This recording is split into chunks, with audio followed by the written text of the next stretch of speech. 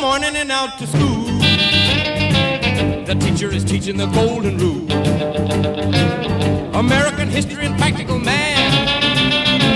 You study them hard and hoping to pass. Working your fingers right down to the bone. And the guy behind you won't leave you alone.